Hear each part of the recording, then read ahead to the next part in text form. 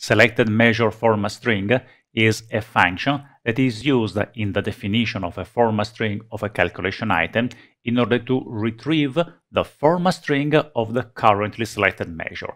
And it is useful whenever you want to dynamically change the format string of a calculation item. Let's see that with an example. Here I have created a calculation group, scale, that contains three values, value, thousands, and millions. It takes uh, the selected measure and divides the value by a thousand or a million. In doing that, we also want to change the format string. You see that the default format string only contains uh, the value, whereas with thousand I show an additional K at the end, and with millions I show an M.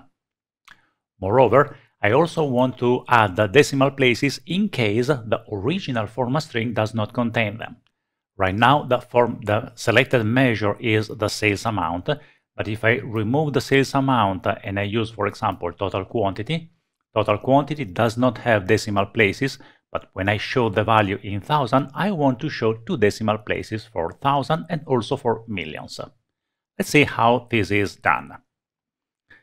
I have created the this calculation group, scale, that contains three calculation items, value, as the expression only returns the selected measure, 1000 divides the value by 1000, and millions divide, divide, divides the value by a million. What is interesting is the format string.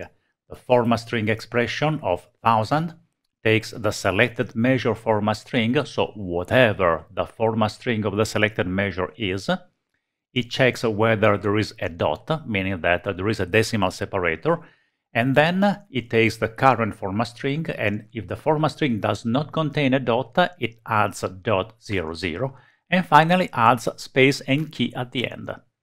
In a similar way, millions does the same operation, but it adds an M at the end instead of using a K.